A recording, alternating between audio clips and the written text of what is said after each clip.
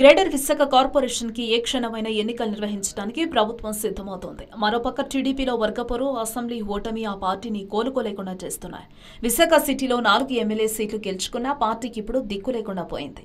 మంత్రిగా ఉన్నప్పుడు ఆఫీస్ ముఖం చూడని గంటా పార్టీ ఓడిపోయిన తర్వాత కూడా ఈ వైపు రావడం లేదని క్యాడర్ ఆవేదన వ్యక్తం చేస్తున్నారు. అయ్యన్నకు ఓటమి తర్వాత పూర్తిగా రాజకీయ వైరాగ్యం వచ్చినట్లుంది.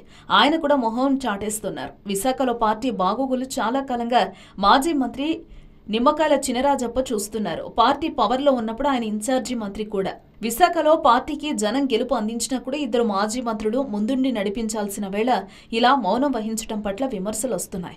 ఫలితాలు వచ్చి రెండు నెలలు గడిచినా ఇంకా తేరుకోలేదనడం దారుణమేనని అంటున్నారు. మరోవైపు అధికారంలో ఉండడంతో వైసీపీ జోరు పెంచేస్తోంది. సిటీలో టీడీపీ ఎమ్మెల్యేలు గెలిచినా కూడా ఖాతరు చేయకుండా అంతే తామయ అయ్యి కథ నడిపిస్తున్నారు. ప్రభుత్వ కార్యక్రమాల్లో వైసీపీ ఇన్ఛార్జ్లే కనిపిస్తున్నారు. ఇక గంట గెలిచిన సీటు ఉత్తరంలో ఆయన రాజకీయ శిష్యుడు వైసీపీ మంత్రి అవంతి శ్రీనివాసరావు పెత్తనం చేస్తున్నారు ఓడిన సీట్లలో నేనే ఎమ్మెల్యేని అని గట్టిగానే మంత్రి చెప్పుకుంటున్నా గంట పట్టించుకోవడం లేదు. ఇక సరైన దిశానిర్దేశం లేకపోతే సిటీలో పార్టీ క్యాడర్ చెల్లాచెదురవుతుందన్న బెంగ కూడా పసుపు పార్టీలో పట్టుకుంది. తొందరలోనే జీవీఎంసీ ఎన్నికలు కూడా ఉన్నాయి. మరి పెద్ద నేతలు ఇద్దరు ఏం చేస్తారు? పరిస్థితి ఇలానే ఉంటే విశాఖ కార్పొరేషన్పై వైసీపీ జెండా ఎగరడం ఖాయమనే చెప్పొచ్చు. హలో! మిమ్మల్నే ఫిలిం సెలబ్రిటీస్ రియల్ స్టోరీస్ ఏంటో తెలుసుకోవాలనుందా?